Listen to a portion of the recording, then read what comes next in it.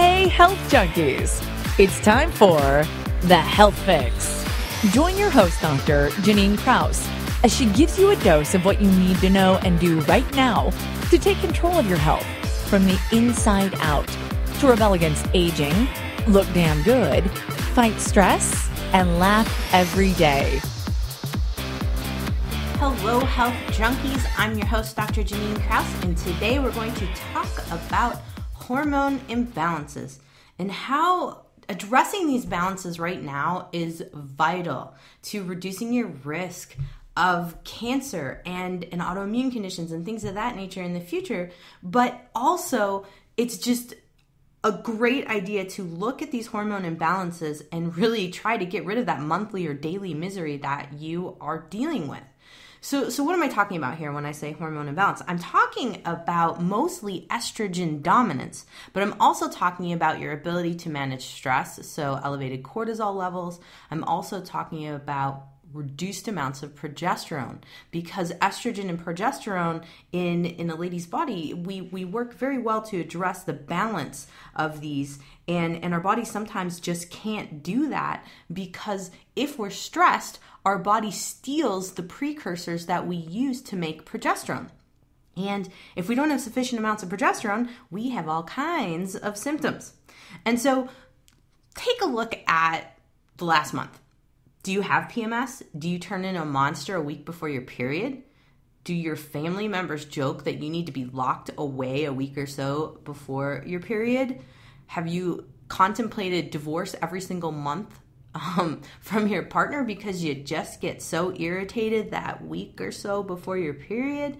Or what about migraines? Do you get a migraine mid cycle or right before your period or the day of? Or do you struggle with with breast tenderness that's extremely painful? Do you have insomnia the week before the period? You know, these types of things are really, really critical signs to pay attention to. A lot of us just say, oh, I have PMS, no big deal. And, and it's kind of blown off as, as that it's a normal thing. It's not normal to be extremely irritable every single week before your period. That's not normal. It's not normal to gain five or so pounds before your period and have extreme bloating. That's not normal. It's not normal for you to feel sluggish or foggy before a period. I know a lot of times in society we just say, oh, PMS, no big deal. But these signs are critical signs because what they're telling you is that your estrogen levels are extremely high. Now, Take that in consideration along with your body type. Do you tend to gain weight in the thighs? Do you have what I call a bra muffin top? By that I mean your bra goes on and then you've got this tissue hanging over that bra. That's a sign of estrogen dominance. Do you have bingo arms? When I say bingo arms, I mean do you have tissue that hangs down when you wave your arm below that tricep? Do you have a little flab going on? Those are signs of, of estrogen dominance. What about sex drive? Is your sex drive completely in the tank? Another big thing here.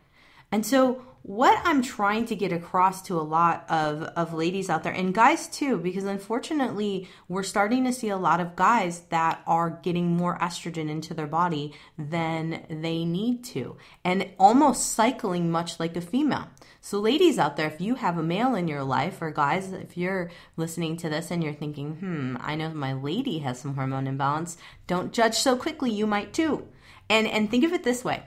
Do you notice that cyclically you just kind of feel depressed? Or there's a like a part of the time of the month where you just are like ugh man i don't feel so good. And and you just chalk it up to maybe you've been working a lot at you know your job or you've been you know burning the candle at both ends with a couple projects guys you guys too can also have some issues here and and same goes with the weight gain around the thighs um, low abdomen hips and also that uh, upper back fluff so something to keep in mind because estrogen dominance can also happen in males in particular. And also, there's the joke of the man boobs. But yes, if you're noticing that your man boobs are getting a little bigger, that's an estrogen issue. And, and why I wanted to talk about this is estrogen dominance is linked to allergies, it's linked to autoimmune disorders, it's linked to breast cancer, and guys can get breast cancer too, so keep that in mind. It's, it's uterine cancer as well, infertility, ovarian cysts, increased clotting. So, this is a lot of um, things here, a lot of issues. In particular, the biggest one is the breast and uterine cancer risk because there are so many cancers out there that are estrogen positive. And by that, I mean estrogen feeds them. The more estrogen you have in the body, the more these little tumors are hanging out, the more you're going to feed them. And that is not a good thing. You don't want to be messing with that. And so, ladies, if you're noticing that you gain weight around the thighs, and guys too, um, if you're noticing that you're gaining weight around the thighs, the low abdomen, and ladies, if you do have that bra fluff, or guys, if you ha- are noticing that the man boobs are starting to get larger, this is this is a big deal and something to pay attention to because of the implications further on later on in life. Now, one of the big things that I really want to talk about as well is that we've got this society that's all about low carb and paleo, and you can pretty much find any sweet treats out there in the universe now that are made of almond flour or some type of nut flour. And so we're turning a lot over from going from our whole grains and our flour based types of treats and foods to a lot of nuts and nut flours. Well, nuts are high in copper. Copper promotes estrogen dominance. I have seen in a lot of my patients who have gone paleo or have gone really low carb or even keto in some cases who are eating a little low level of nuts or never ate nuts before. And now they're eating high levels of treats and sweets with nuts. We're starting to get more issues with weight and hormonal changes. And, and this is a big issue because it's it's almost that now we we're promoting more estrogen dominance through thinking that we're eating healthier and that combined with eating out of Teflon pans and drinking hot coffee out of plastic lids, those black lids that are on your, your coffee cups, these are sources of heated up estrogen. So, plant, it's not plant, excuse me, it is xenoestrogens. These are plastic estrogens. And so, storing all of our hot foods in plastics, these are problems anywhere that you have heated up plastic getting into your life, like saran wraps, things of that nature, these can all help in contributing to estrogen dominance. The other big thing is your canned goods, and if you have goods that have BPA or any of the other chemicals on the lining, guess what? You're getting interruption of your ability to deal with estrogen processing. And then you combine that along with stress and stress in your life. And guess what? We we take cortisol. So cortisol is our stress hormone, but it's also our hormone to help us to go to sleep and wake up. But our bodies will take the precursors to progesterone and push making cortisol versus progesterone. And so, pretty much most of the US population who is stressed out is unfortunately making we're, we're unfortunately making a lot more cortisol than we are progesterone. Nine times out of 10, when I'm looking at a female who has infertility, she's fatigued, she's losing hair, and she keeps gaining weight. And of course, on top of that, she's got tender breasts before a period, she's got migraines, etc. If I can give her a little bit of progesterone we can turn things around. And a lot of times we can help with fertility. We can also help to get those darn hormones in check and bring that estrogen level down. So, a lot of people are afraid of estrogen and progesterone replacement.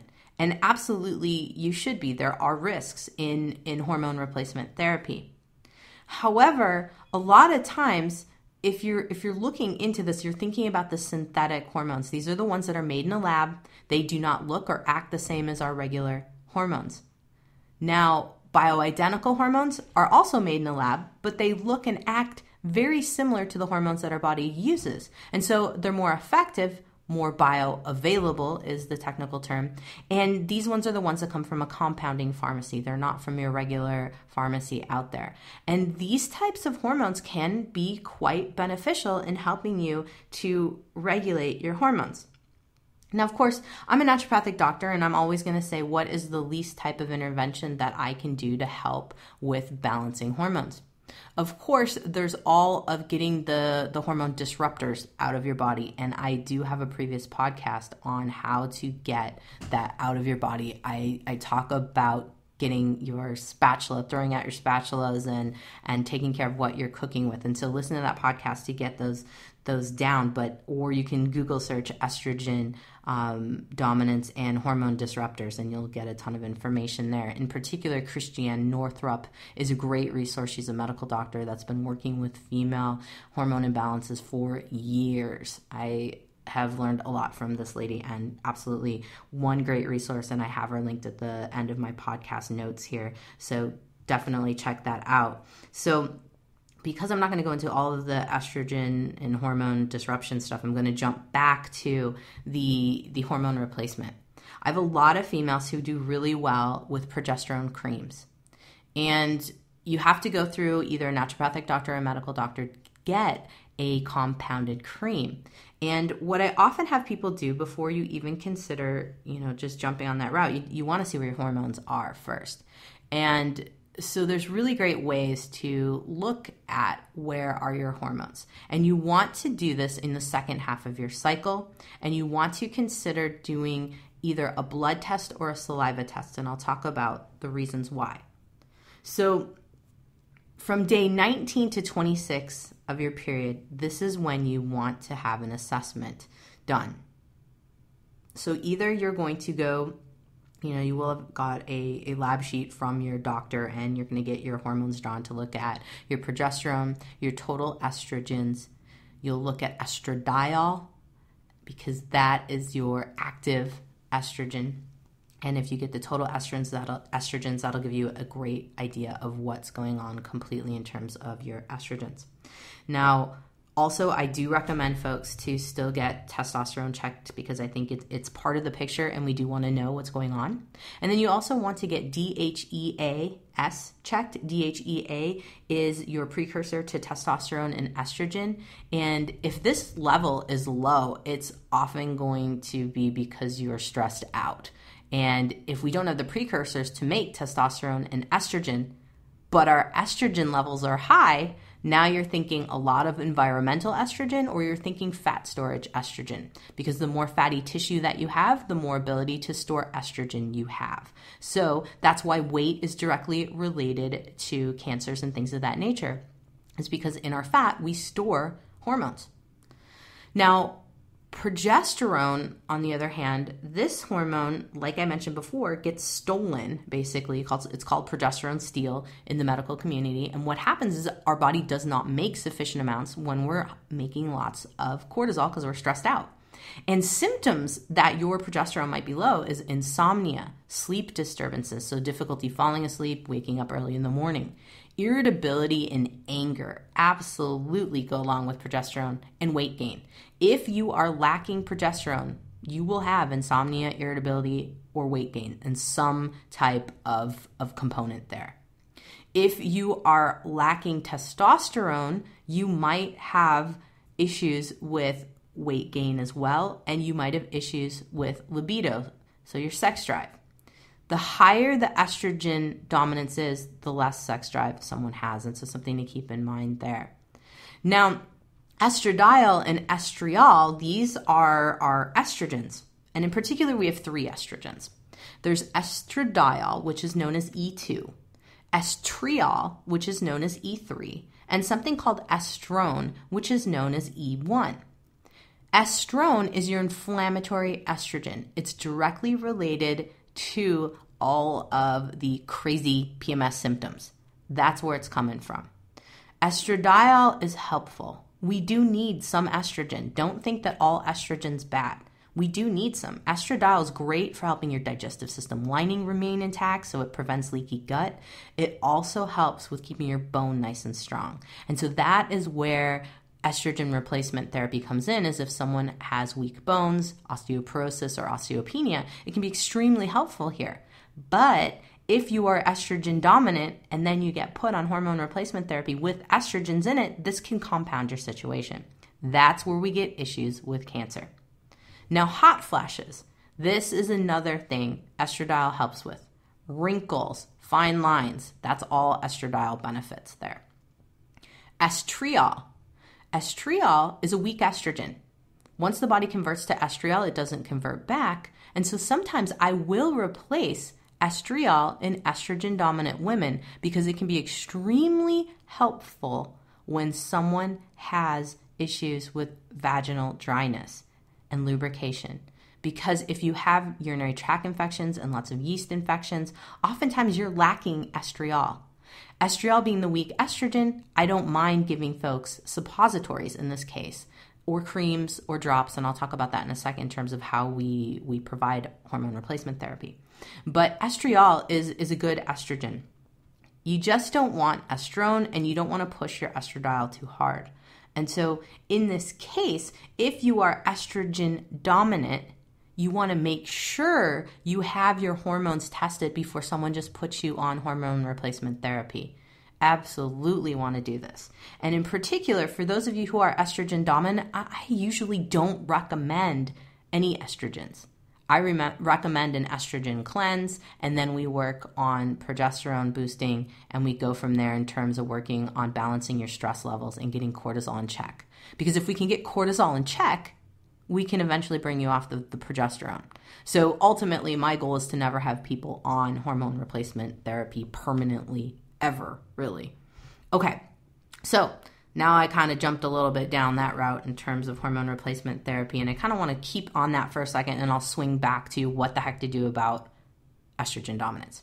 So there's different forms of hormone replacement therapy. There's creams, there's something called troches. These are like little packets um, that you suck on, and, and they're kind of like candies of sorts. There's pills, there's also liquid drops, and then we also have inserted pellets that can be inserted under the skin.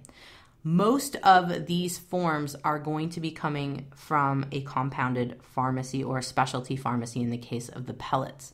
Now, I am a huge proponent of bioidentical hormone replacement therapy if I see it useful in an individual. And the reason being is because those hormones look like our hormones naturally floating around in our body. So our body assimilates them better and uses them better.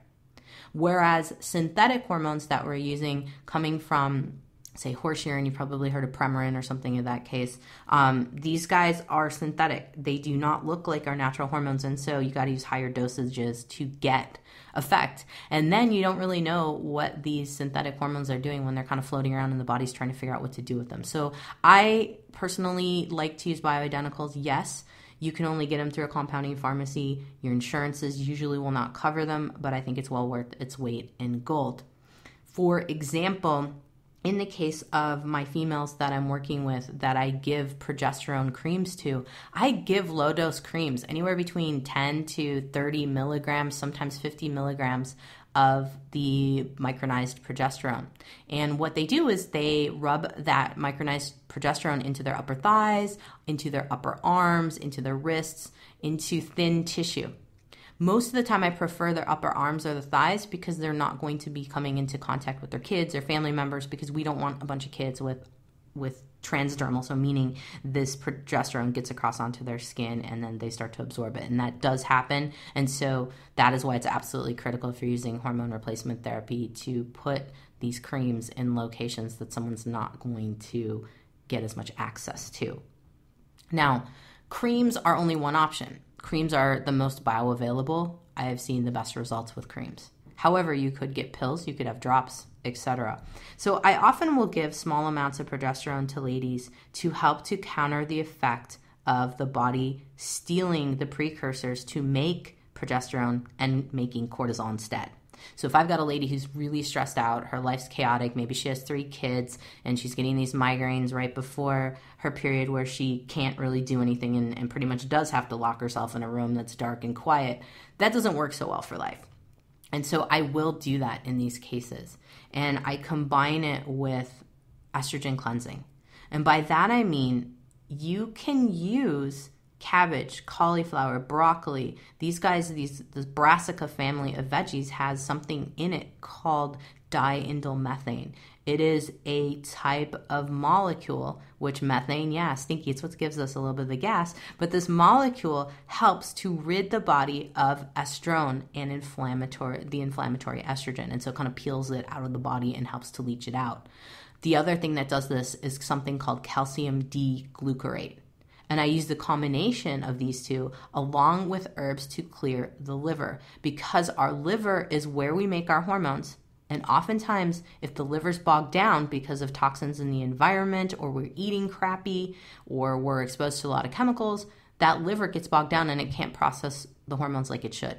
And so, oftentimes, I really like to combine a liver cleansing agent with diindolylmethane and calcium D-glucarate. And I use a product called DIM Detox. It is by a company called Pure Encapsulations. If you listen to my previous podcast on endocrine disruptors, you would know about it. It's in there, but I have that resource provided in my resources section on my website, and you can click on that link at the end of my show notes if you want to find out more information on Pure Encapsulations Dim Detox. By the way, I don't get any money from this company um, whatsoever. I just really like the product and I know it works. And oftentimes, if I'm working on clearing extra estrogens, that's one of the ways I'm using, um, one of the products I'm using, and then increasing progesterone foods and hormones um, in the body. Now, another way that you could approach this that I do quite often as well is I don't even use progesterone. I use foods that boost progesterone.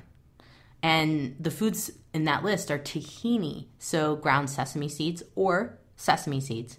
The reason tahini is better is because all too often the sesame seeds go in one way and they come out the same way. We don't digest them well. So you want to blend it up. So I prefer tahini. And typically, I'll have ladies doing two tablespoons of tahini from mid cycle to the start of their period because that's when progesterone should be higher. Same thing goes with sunflower seeds. I'll have ladies grind them up and do two tablespoons of those.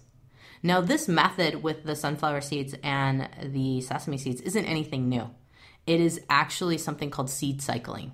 And there is a way to seed cycle so that you can balance your estrogen and your progesterone.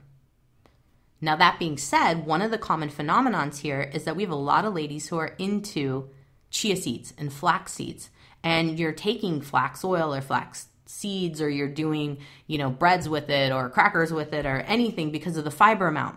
But guess what? Chia and flax promote estrogen. So does pumpkin so do pumpkin seeds. So if you're eating these on a daily basis throughout your whole cycle, you're messing with your hormones. I highly recommend anybody who's estrogen dominant to actually not do the chia and flax too much. You can do them here and there, but honestly, if it's an everyday thing, obviously cut it out. If you want to help with regulation of hormones, I usually do recommend from first day of the period to day 14 or 15, just kind of getting the body to kind of cycle on a natural level. So it's first half of the cycle, use the chia and the flax. The other side of this is that we've got this phase of a lot of folks using soy and, and soy organically and soy conventionally. It doesn't matter. Soybeans whether they're soybean oil, whether it's soybean, so miso, whether it is just straight soybean seitan, any of the vegan types of products for protein, soy promotes estrogen in the body. If you are already estrogen dominant, it's going to mess with you. It's a problem. And I have a lot of folks having issues there. Another big thing is beer. Beer promotes estrogen. Hops, in particular, are a plant estrogen. They promote estrogen production. I give hops to my ladies who just had a baby so that they can promote milk letdown. You don't want too much hops. Look at a guy who's had a lot of beer. What happens? Beer belly and man boobs. Hello, promotion of estrogen. So, ladies, if you like the beer, great. Maybe consider keeping it to the first half of your cycle and really honestly limit it. Really limit it one to two times a week most but watching it. I mean honestly in in a perfect world if we're trying to balance your estrogen dominance i ditch the alcohol altogether. It's just better that way. And and believe me i am not a I, I like my wine. I like my i like having some beer here and there but honest to goodness it, it helps to just not do it. Same thing goes with any of the malt liquors and things of that nature. Um, just keep it in mind. So there's that being said. Now what I typically do to to fully assess a patient in this case is I was mentioning you want to know where your hormone levels are first before you venture into any of this replacement or knowing what to do in terms of balancing things. And ideally, you want a naturopath or a functional medicine doctor to help you with this because that's where we shine, that's where we specialize. And in this case, you're wanting to look at either blood or saliva. And the difference between taking um, a sample of blood or saliva is that blood is going to show bound hormones, saliva is going to show unbound hormones.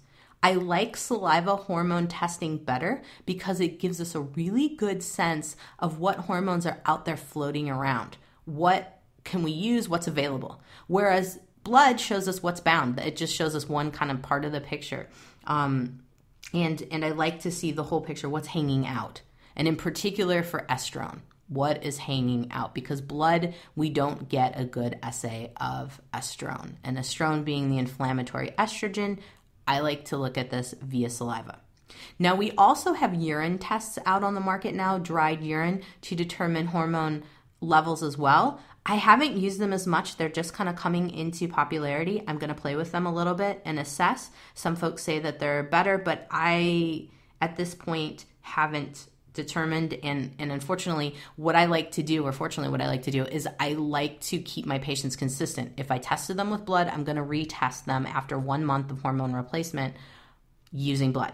If i'm testing them with saliva to start off i'm going to keep saliva because it, it's the same you know ch- comparing apples to apples.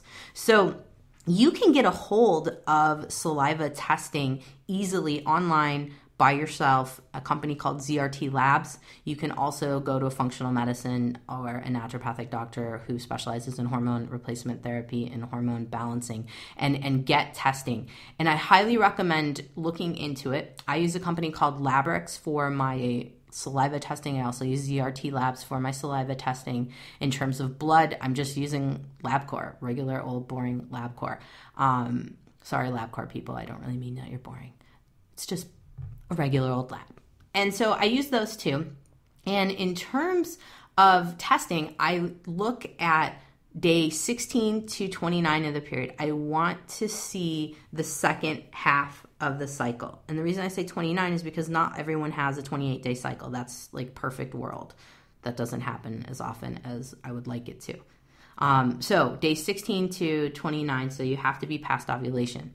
Say you don't ovulate, say you don't know where you're ovulating, that's okay. If you're at least tracking where your period is coming, you can determine okay, I am a couple days before my period, do a saliva or blood test at that point. Say you don't get your period regularly, that's okay. Test it anytime. It doesn't matter because we have no idea where you're at. And, and in that case, it gives me a good sense because estrone is pretty consistent and and I can tell if progesterone levels are are kind of even midway normal and your estrone is off the charts, that's estrogen dominance. It's easy enough. Now, I highly recommend when you test your hormones via saliva that you also look at cortisol levels because cortisol is crucial to messing with your hormones. Like I said before, our bodies take the precursors to making progesterone, steal it from that pathway, and make cortisol instead. And so just knowing if your cortisol is off the charts, if it's really high, I know right there that your progesterone is going to be low and we need to balance that out. So, those of you who have access to ZRT labs or a functional medicine doctor that can get you some lab testing via saliva, by all means do it. It's it's better way to go. Via blood with cortisol, you have to go in in the morning between 6 and 8 in the morning and you get one test. So we only know what's happening in the morning. With blood, we are not doing afternoon samples because when I do hormone samples for ladies. We do four tests. We do a morning, we do a before lunch, a before dinner, and a before bed sample. And that gives us a really good range of what's happening throughout the day. Whereas with blood, it's one and done. And so it's one snapshot sample. So that's another reason why I use saliva because I get more data and I'm a big data person. So those things being said, one of the other components of hormone replacement is to keep in mind if you are a female that's postmenopausal. So, say you're noticing that you have weight gain still in your thighs and upper back, and so you're estrogen dominant, but you haven't had your period more than 10 years, you do not want to be messing around with hormone replacement therapy um, because there's more risk in that case. And and not a benefit for the bones or the heart or anything. And cancer fibroids and starting a period again can be a big issue here.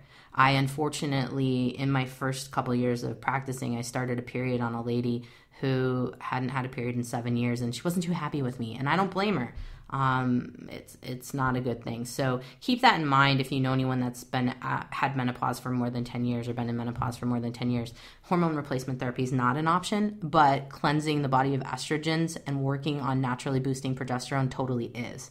And one of the best folks out there is a gal who runs the website Hormones Balance. Her name's Magdalena um, Wizlacki, I believe is how you say her last name. And I will also have that on my show notes so that you can go to her link to check out information there.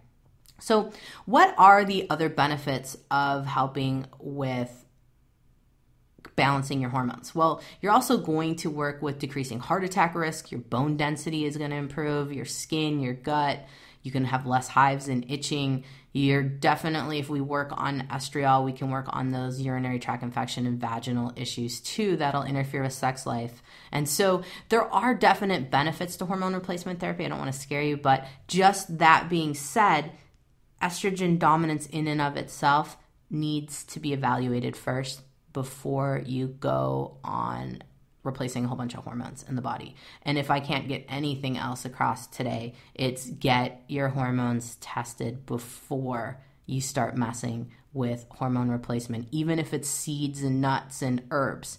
Just get your hormones tested. So, one of the other big things that I wanted to talk about is exactly what you can do to boost progesterone naturally. And I had mentioned briefly tahini, and I had mentioned briefly sunflower seeds. Evening primrose oil is at a thousand milligrams a day is amazing for helping to boost progesterone levels naturally, as is Vitex, which is known as chasteberry.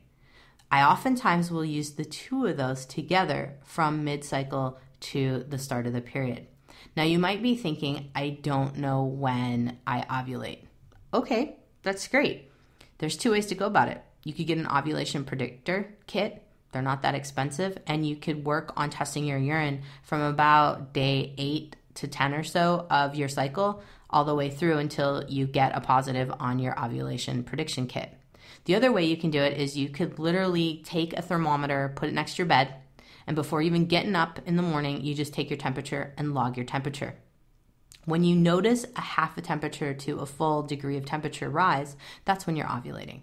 Now, this is tricky because if we're stressed out, that's that those numbers of up and down with temperature wise can look like a razor blade or not a razor blade a, a, saw blade up and down up and down. And so that's that makes it really tricky for ladies. So i highly recommend considering an ovulation predictor kit or talking with a functional medicine doctor or a naturopath to figure out how to calculate these things properly. So going back to stress hormones. I talked about testing cortisol. I also really highly like to look at neurotransmitters. And neurotransmitters meaning serotonin, dopamine, GABA, glutamate, epinephrine, and norepinephrine. These are all your neurotransmitters in your brain. I especially like to look at these if we've got mood stuff, especially if we're really irritable, angry, our or we become extremely depressed or we're having just really violent mood swings because sometimes the cortisol levels can interfere with neurotransmitters. And so I like to see this because it gives me a comprehensive idea of the entire picture. You can do neurotransmitter testings using urine, and the company I use is Labrix. They're out of Clackamas, Oregon, labrix.com. I'll put that in the end of the resources. Check them out I highly recommend looking at your neurotransmitters too, especially if you're having violent mood swings and, and your family's joking to lock you away for the week before your period. And it, it gives some, shed some light into what's going on. I also highly recommend it if you have a history of depression related to the period or crying spells or you have or you're just chronically depressed and and have been for life and you're chronically fatigued i think it's absolutely important to look at those neurotransmitters too because they can have a huge impact and and knowing the whole picture because just looking at hormones uh, in this case is sometimes just going to give you half the picture neurotransmitters can be extremely enlightening to know what the heck is going on. So, we've covered estrogen dominance, we've covered a little bit on on hormone replacement therapy. The big takeaway that I want you to have from this segment is that if you are struggling every single month with irritability and or depression, crying spells, mood swings, breast tenderness, insomnia, any of these issues, it's highly important to get your hormones tested to figure out if you're estrogen dominant. Because a lot of the population is and we just keep going through life thinking that PMS is normal and it's no big deal. We just deal with it every single month. And honestly, waiting too long can have some serious implications. I'll give you a little story. My mom died in 2004 of estrogen positive breast cancer. She had PMS pretty much her entire life from when she started her period at 12 years of age. She ignored it. She thought, eh, it's life, no big deal. My mom, being a very healthy individual and let's say maybe a borderline hippie, was really into soy. And back in the 70s and 80s, when we started to really just come out with figuring out, oh, soy's good for us, it's beneficial, my mom went nuts on it. And she ate a ton of soy and miso and things of that nature. And she did a lot of cooking in Teflon pans because that was all the rage the non-stick pans and microwave. The microwave, oh my goodness, was a big deal. And guess what happened? She was microwaving plastic. She was cooking in Teflon pans that were scratched. And my mom love her, had a very bad habit of loving Diet Coke. And I'm sure a lot of people out there can really sympathize with this because it's, you know, it's either Diet Coke or Pepsi in this case, or Coke Zero. And those guys have bisphenol A on the lining. This is a hormone disruptor. Totally can mess with your amount of estrogen you have in your body. Combine that for my mom of living on a farm where this was back in the day where the DDT trucks would come down the street and they literally would run behind the DDT trucks. So she had all of these different factors combined. And she was tested for the genetics to have breast cancer and she did not have any of the genetics. She was just estrogen positive. My aunt also died of breast cancer, my mom's sister. Same thing, estrogen positive.